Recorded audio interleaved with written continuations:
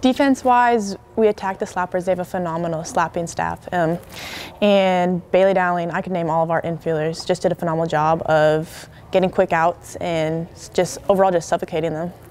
Of course, and uh, congrats on your home run. You've been killing it with the hits this year. Just talk about how your work has paid off from practice and now into the games this season. All the preparation and hard work that the team and I have been putting in, we push each other every day.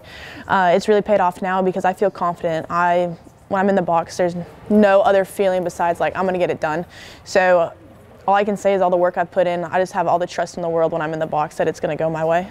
In practice, what do you think pushes you the most? Definitely my teammates and just our end goal in mind. Every day we're thinking about with the World Series and winning a national championship. So it's always a game seven, everything's on the line type mentality. So every day at practice I'm thinking this is it and it just pushes me to better myself and get 1% better every day. Of course, and doubleheader tomorrow, what is the mindset? What are the goals coming into that? We're not satisfied after that game. It was a good win, but it was a lot of learning and a lot of growth. So we're just ready when we get our runners on to score them and just to keep on having our defense be stellar, clean, and smooth. And I think as long as we keep on doing that, we're going to keep rolling.